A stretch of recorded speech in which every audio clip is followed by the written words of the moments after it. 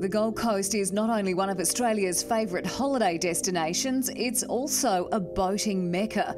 The Gold Coast Broadwater lies at the southern end of Moreton Bay and is protected from the open ocean by South Stradbroke Island.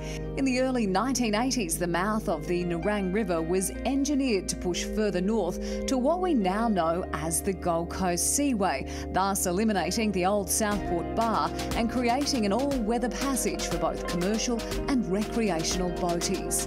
Not far from the entrance, it was decided a man made island would be created to inhibit the amount of ocean swell entering the Broadwater. Imaginatively titled Wavebreak Island, the Northern Lee has become a boatie's haven.